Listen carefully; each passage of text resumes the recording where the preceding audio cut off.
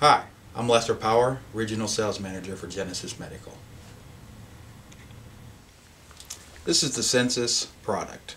Very quick overview. You're simply going to attach the electrode, snaps onto the back,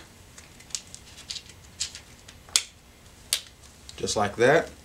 Remove the protective liner.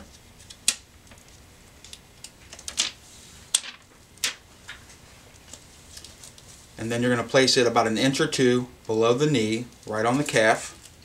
Simply strap it around your calf. Simply hold down the button for a couple seconds. The green light comes on and your therapy will last for 60 minutes. For more information, please contact us or refer to your user's manual. If you found this video informative and useful, do us a favor and leave a comment. We'd love to hear your thoughts. If you want more information on the Sensus product or anything else Genesis Medical offers, please contact us toll free 1-800-392-0955 or visit our website www.genesis-med.com. Genesis Medical, bringing support to the surface.